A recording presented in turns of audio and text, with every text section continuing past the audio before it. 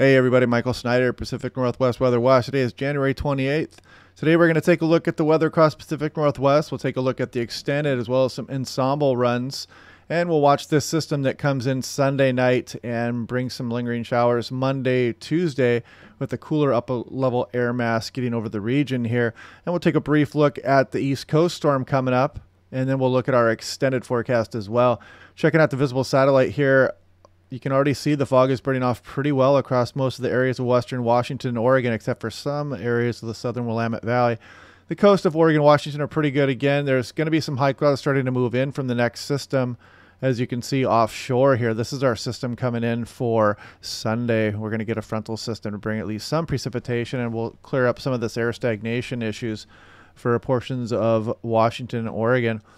And you can see Eastern Washington mainly still socked in under that inversion there. You can see that uh, fog made it pretty far up into the eastern slopes of the Cascades. Again, you can see some of the lower valleys here through Idaho and eastern Oregon, Montana. And there's some high clouds over the top of British Columbia today, so you can't see those uh, that lower level fog. And it's probably not as thick as it was the past couple of days because of those clouds, although it still may be there. And you can see some of the areas of the higher terrain are still sunny, and you can see the snow showing up nicely, especially down through Oregon. Check that out, nice and nice and clear down there, and all the way down through California. So, jumping right into it here, everybody's talking about this big East Coast storm, and they are they have the alerts up. There's blizzard warnings for portions of Long Island down the East Coast, Atlantic City, Georgetown. And if we look up towards Boston, just a large area of blizzard warnings out there. This is going to be a pretty significant snowfall event, potentially historic. And they've got the winter storm warnings out for the remainder of areas, a few winter weather advisories on the further uh, west portions of the where the storm is expected to impact. And you can see they have all kinds of issues going on. Blizzard conditions, gusts as high as 50 miles per hour, 8 to 15 inches of snow. Coastal counties in New Jersey and the Delaware beaches tonight and Saturday. So if you have interest out there, or you're thinking about heading out there, you might, uh, you know, check on your flight. You might be delayed. You might have a hard time getting back. And look at some of these impacts extreme. So, and you can see here they have the snow forecast there for the coastline. Look at that foot to a foot and a half there percent chance of six inches or more snow, very high. And of course, there's coastal flooding and issues, wind chill, and low temperatures as well too. Especially in the wake of this storm, it's going to get pretty cold all the way out to the coast. So checking out the storm here as you see it. Here we are now, and put this into motion. You can see that storm that draws the cold air out to the coast, but it's going to be throwing pretty good moisture back over the top. There's going to be some really heavy bands of snowfall with this event. I heard three to four inches per hour are possible some areas. And look at the wake of this storm. How this Arctic air just gets all the way out to the coastline. Check out these teens and single digits not that far from the east coast. So potentially historic snowfall event. You know, this is going to affect millions of people out there. You're probably going to hear a lot about it tonight, and you'll see a lot of news information on that going into tomorrow. Here is the snowfall accumulation of the GFS. Remember yesterday that they had much less snow here and they had it more for just the Cape Cod area. Now you can see it's extended inland a bit more and heavier totals. Looking at the NAM 3KM here, the high resolution model, you can see it paints a pretty good swath of snowfall all the way across coastal areas of Virginia, all the way up through Cape Cod, Boston, Massachusetts, all the way up to the northeast of the U.S. Very impressive storm. Look at some of these snowfall totals. Over two feet expected some places in Massachusetts there. So looking back at the more general pattern of weather here for us, you can see our system here bringing a weak front through the Pacific Northwest starting Saturday night into Sunday. You can see some decent precipitation amounts in the mountains, but a lot of the lowlands Seattle area is going to be um, rain shadowed by the Olympics in this event. And you can see the precip getting all the way down toward the Willamette Valley and the Oregon coast. Not much gets into eastern Washington. Some makes it into the coastal range of the Rockies there, Idaho and Montana. Probably be mostly snow at elevation there. And you'll see the Arctic high kind of slide down, maintain itself east of the Rockies for the most part. We got a bit of this Arctic air that comes out that I'll show you here on a map in a bit. And that kind of moves down over us. It's modified a bit once it gets over the water. So we just got a little taste of this Arctic air mass that's going to churn down east of the Rockies here. And then you can see the residual flow out of the northwest on into early next week with light precipitation amounts. We'll take a look at that in some detail here too. And looking at the GFS here, so here is the frontal system going through on Sunday. Not a particularly strong front, mountain snows, and you can see Monday night uh, a little bit of convergence zone activity showing up here on the GFS. I also had that on Sunday night there as well, right here. And on into Tuesday, even too, they still have, you know, there's going to be some pretty cold air a lot. There could be snowflakes down pretty low. Not expecting any kind of widespread snow, of course, and you know, no frozen sidewalks this time. And as we go, this is the European now looking at that frontal system coming in on Saturday night, reaches the coast. And you can see the mountain snows ongoing. Frontal system moves through the area Sunday afternoon. You can see some convergence act zone activity in the immediate post-frontal environment there. And then on into Monday, you still see convergence zone activity going on here. Even paints a little bit of snowfall down close to sea level. But of course, I'm not going to expect any accumulations with that. Nothing significant anyway. Maybe a dusting but it is a chilly air mass aloft. And here we go into this is as far as the 060 European goes, and you can still see Monday some convergence on activity across the sound. It doesn't look as much as a progressive push down the Puget Sound with the initial convergence zone, but then with maybe with some northwesterlies that come down around Vancouver Island, eventually that flow will turn northerly down through the Puget Sound. So we'll have a chance to look at that in the upcoming uh, upcoming tomorrow. So here's some of the winds. You can see how they're pretty light. And you see the frontal system offshore here starting to approach, bringing these southerly winds much stronger.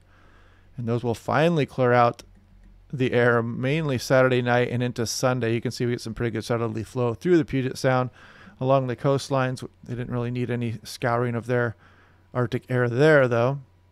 Uh, sorry, I mean the uh, air stagnation. And you see the frontal system pass through here Sunday afternoon, and you'll notice the northwesterly flow coming behind that and down the Strait of Fuca and the Chehalis Gap. So convergence zone there probably Sunday afternoon and the, right after the front moves through. And then we go into Monday and there's still a hint of convergence zone activity going on through the Puget Sound area there. And on into Tuesday, that should continue as we're in northwest flow, light precipitation mounts, but chilly air aloft. So some of those showers could have some snowflakes mixed in in the lower elevations, but of course, no big snowfall accumulations expected. So here's kind of highlighting how much the air mass is going to change here. You can see this is at 5,000 feet. You know, this is why we have the inversion. There's warmer air aloft here. And as you can see the system approach from the northwest there, here goes that frontal system. Then the air in the wake of it is pretty chilly. Um, negative six values are about where we cut off lowland snow potential. But again, it's going to be a, it's not, it's going to be above freezing at the surface. So there's not going to be any snowfall accumulation expected. Precipitation totals, this is the last um, European run here. You can see that kind of move in there. You notice how the the European actually has decent precipitation amounts for the Seattle area. The GFS has much less, shows much more of a rain shadowed situation for the Seattle area. And you can see some pretty good precipitation amounts, mainly in the form of snow, of course, for elevations of the Cascades. Uh, Snoqualmie Pass North, you see the Olympics get a pretty good shot of precipitation here, but it might be the only good precipitation chances we get here for the next couple weeks. We look to be going back into a ridgy position here. So here's the GFS. I'll put this into motion here. And you can see, look at how shadow, Seattle's rain shadowed there. A lot of mountain precip. And really the lowlands of the Puget Sound are pretty shadowed according to the GFS. So the European not showing that so much. So we'll see how that works out. And snowfall potential, of course, mainly for the mountains. This is the European, but notice this little convergence zone activity drops a little bit of snowfall down north of Everett there. So you might see some snowfall mixed in with some of that activity on Monday during the convergence zone as it comes through there. And some pretty good totals here in the mountains. You know, we need it. It's been a bit since they've gotten any decent snowfall. And the sun takes a toll. It doesn't necessarily melt the snowpack so much as it compress the snowpack for the Cascades. So taking a wider angle look at what's going on here, this is um, as of last night here. You can see this bit of cold air breaks off this Arctic lobe here. This is showing the, the colder Arctic air. You can see this breaks off here and kind of goes over the ocean. You see it modify a bit and it gets down towards us. That's what's going to bring our frontal system and that'll bring the cooler air behind it. But you can see for the most part that Arctic air stays east of the Rockies. We don't really get involved in that too much. We just missed that's what we had been talking about for a while that potential for some of that arctic air getting out over the region and this looks like a near you know, a near hit, and that Arctic air spreads down over into the eastern portions of the country. And you can see we miss out a bit. And then the ridging returns in the extended, according to the European. Then maybe some systems start to break down going into mid February. We'll see. How, we'll have to see how that goes. So again, check out all the watches, warnings, and advisories, blizzard warnings, winter storm warnings, winter storm advisories, all kinds. So if you have any interest out there on the East Coast, heads up. And you can see our air stagnation advisories, of course, here, and a, few wind advisories and warnings elsewhere across the country. So, Great Falls, high wind warning through Friday afternoon. Just check that out if you guys are traveling eastbound. You know, Cut Bank. I know there's some people that follow the channel in Montana off to the uh, west of Great Falls there. Gust to 60 miles per hour and watch on the immediate slopes for 80 mile per hour gusts possible. Now looking on into the extended a bit here. Here is last night's European run. This is just looking at the overall. You know, this is the northern hemisphere again. Here's the North Pole. Here's Washington, Oregon, California. Here's Alaska.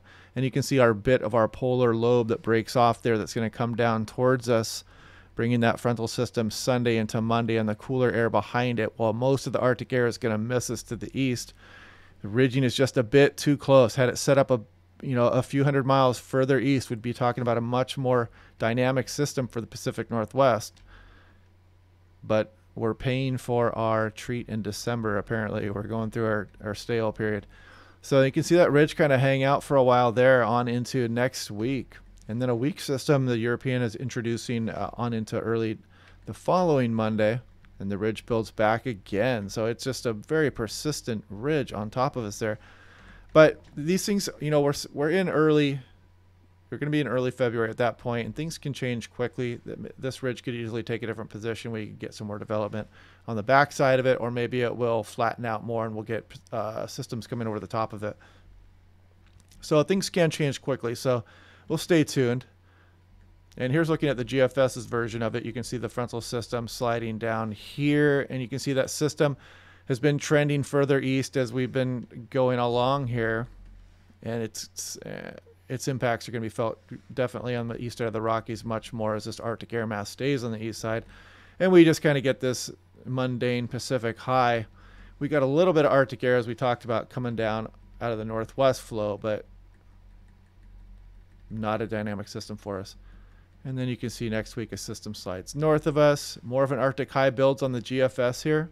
This would be more of an interesting scenario because this Arctic high is further west into British Columbia, and this would affect us more and bring us colder. But I have very little confidence in the GFS at this point. This is way out there, and the GFS has been teasing these kind of scenarios off and on during the winter. It was actually fairly correct during the December period, but it was pushing those you know that potential back. It was kicking the can down the road a bit until it actually happened. So we need a lot. You need a, a lot more before you can convince me of any kind of cold air getting into the Pacific Northwest on the GFS. So here is the the European here showing through mid-February for Seattle. Check this out. So we get this frontal system here and we bring some precip into the region and look at the you know the control run only has about an inch of rain through February 12th and the the mean only has you know just about an inch and a half. So very relatively dry for this time of year, and you know we may pay for that later. You know we might be end, end up getting a very active end of February or perhaps March. Uh, we'll have to see how that goes. But you know these these patterns don't tend to hang out long for the Pacific Northwest. So we'll see what's coming down the road, and things can change quickly the GFS here too, which had the much more shadowed system here on Sunday and Monday. then you can see out here the control has less than an inch and all the way the well the control had less than a half an inch actually the mean has less than an inch as we go on into early February. So looking at a pretty dry period coming up here. So crossing my fingers, hope we get some kind of change, but it looks pretty mundane for now. So yeah, now tomorrow I'll talk or tomorrow the next day I will talk a little bit about the Madden-Julian oscillation and El Nino and La Nina and the ENSO correlation. And I'll take a brief look at that and I'll kind of try to explain things. I'm getting some questions about that both in private messages and some of the comments. So I'll go over that a little bit here in the next day or two and I'll probably do a live briefing If there's a good convergence zone set up, I'll do a briefing on Sunday night or Monday, Tuesday afternoon. I'll go out and do a live stream and chase the event and answer some questions then. But until then, I will talk to you guys tomorrow in tomorrow's briefing. Thanks.